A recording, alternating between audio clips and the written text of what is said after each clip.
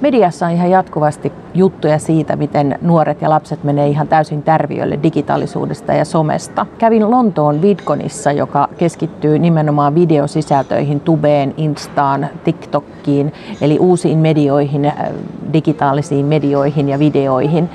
Kuulin siellä todella tolkullisen puheenvuoron, josta poimin 13 pointtia.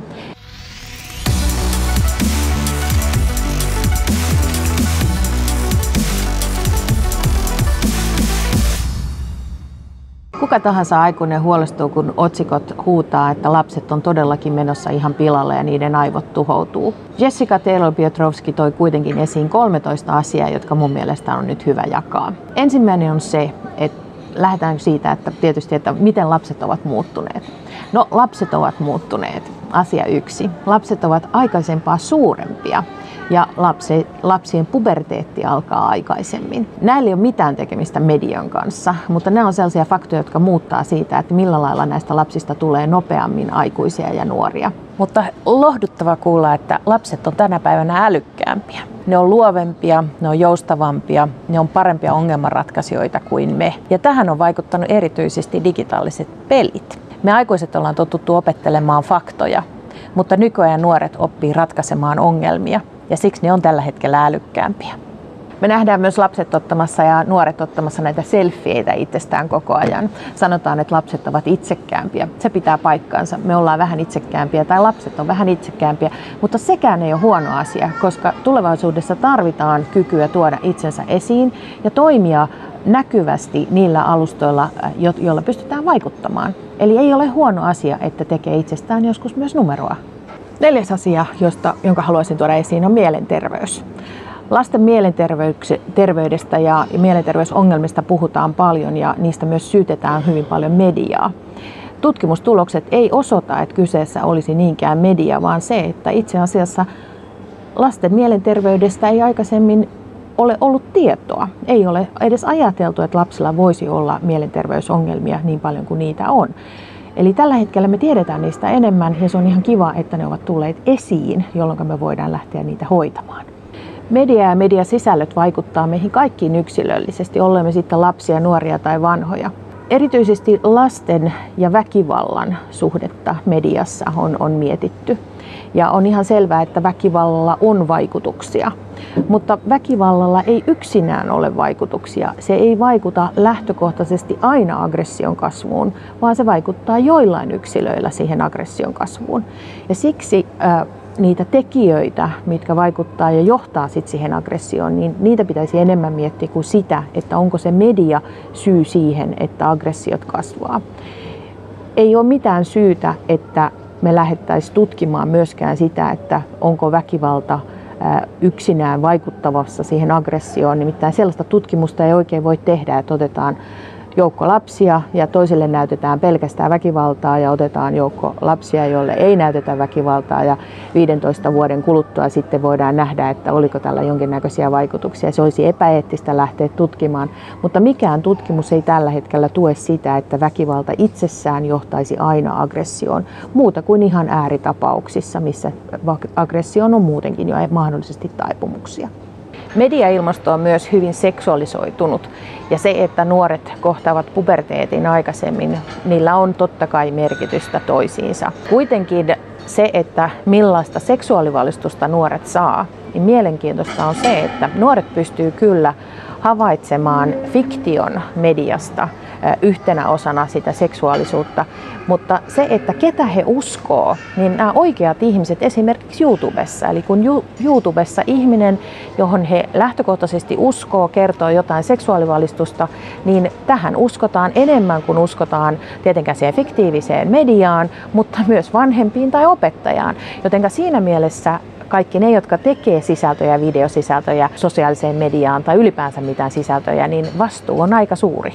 Verkon pimein puoli lasten ja nuorten kannalta on nimenomaan pedofiilit, eli verkon pedo. Lapsilla ja nuorilla on hyvin vähän kykyjä tunnistaa ja puolustautua näitä verkon petoja vastaan. Onneksi meillä Suomessa on sellainen palvelu kuin Someturva. Someturva itse asiassa joulukuussa raportoi ennätysmäärän seksuaalirikoksiin liittyviä ilmiantoja ja täytyy sanoa, että on tärkeää, että me vanhempina ja kasvattajina pidetään huolta, että lapsilla tällä puolella on jatkuvasti ymmärrys siitä, että apua saa.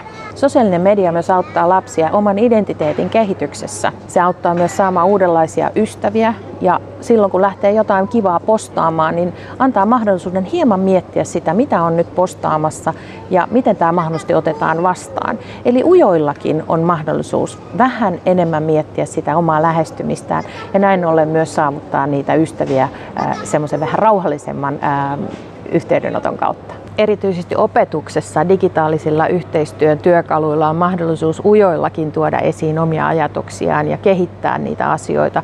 Että semmoiset vähän nopeammat ei aina vie sitä kakkua alta pois saman tien. Puhuin jo siitä ongelmanratkaisutaidosta, eli pelit, joita opetuksessa käytetään, auttaa ihan uudella tavalla ratkomaan niitä ongelmia, mitä, mitä on saatavilla. Ja toisaalta sitten niin pelit, digitaaliset pelit, joissa liikutaan myös yhtä aikaa, niin näillä on saatu ihan mahtavia tuloksia muun muassa painon hallintaan, eli ollaan saatu lapsia laihtumaan ja pysymään ihanne painossa.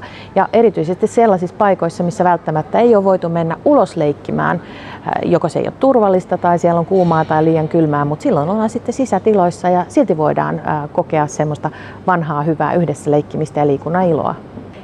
Digitaaliset taidot on peruskansalaistaitoja. Ja tällä hetkellä sanotaan, että EU-ssa 44 prosentilla ei ole sellaisia digitaalisia peruskansalaistaitoja, mitä tarvitaan. Tulevaisuuden kyvyt, joita tarvitaan, menee neljän C alle englanninkielisesti. Siellä on communication eli viestintä, collaboration eli yhteistyö, critical thinking eli kriittinen ajattelu ja creativity ja luovuus. Nämä on kaikki taitoja, joita nuoret ja kuka tahansa meistä oppii digitaalisilla alustoilla ihan itsestään.